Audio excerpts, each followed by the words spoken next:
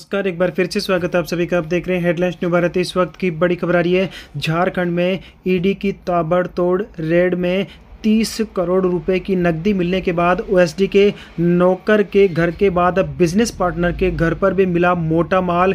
ED का लगातार action जारी है।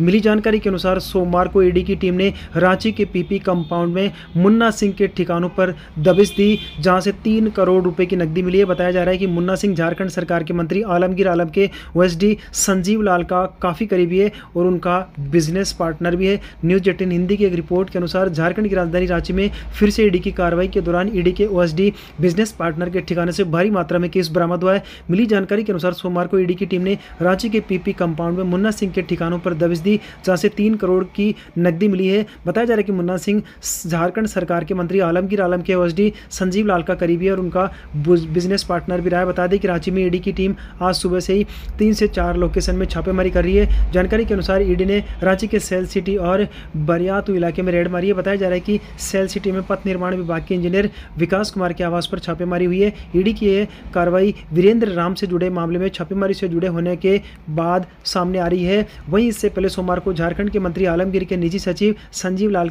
साइक के घर पर ईडी ने छापेमारी की थी। यहाँ पर तीस करोड़ से ज़्यादा की नकदी बरामद की। जाँच एजेंसी ईडी ने मौके पर नोटों गिनने के लिए कई मशीनें भी मंगाई। ईडी अभी भी बरामद केस की गिनती कर रही है। प्रवर्तन निदेशालय राज्य में कई जगहों पर छापेमारी कर रहा है। वीरेंद्र राम मामले में झारखंड के ग्रामीण विकास मंत्री आलमगीर आलम के पीएस संजीव लाल के घरेलू सहायक से भारी मात्रा में नकदी बरामद की गई। ने कुछ योजनाओं के कार्यान्वयन में कथित अनियमितताओं से जुड़े मनी लॉन्ड्रिंग मामले में फरवरी 2023 में झारखंड ग्रामीण विकास विभाग के मुख्य अभियंता वीरेंद्र के राम को गिरफ़्तार किया था। वहीं इस मामले पर भाजपा सांसद निशिकांत दुबे ने झारखंड सरकार के मंत्री आलमगीर आलम पर निशाना साधते हुए कहा कि आलमगीर आलम का पैसा है किसी दूसरे का नहीं है और गिनती पचास करोड़ से ऊपर की होगी। हेमंत सोरेन जेल में है ये सिंडिकेट क्राइम है ये बांग्लादेशियों को बुलाकर यहाँ की डेमोग्राफी बदल रहे हैं। झारखंड में अब राष्ट्रपति शासन के अलावा और, और कोई चारा नहीं बचा है। सांसद संजय सेठ ने कहा कि मंत्री को तुरंत गिरफ़्तार करना चाहिए। ईडी के अधिकारियों से कहना चाहता हूँ कि मंत्री को बर्खास्त करके तत्काल गिरफ़्तार करना चाहिए। चुनाव आयोग से इस संबंध में शिकायत